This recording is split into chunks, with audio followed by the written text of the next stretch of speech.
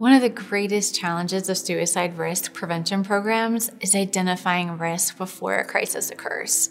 Current risk models tend to offer a binary yes or no rather than the nuanced perspective. Organizations may have valuable patient data in their systems, but they lack the interoperability or analysis capabilities to make it actionable. Addressing the stigma associated with mental health in any community, including the military and veteran community, is crucial for encouraging people to seek the necessary support and intervention they need.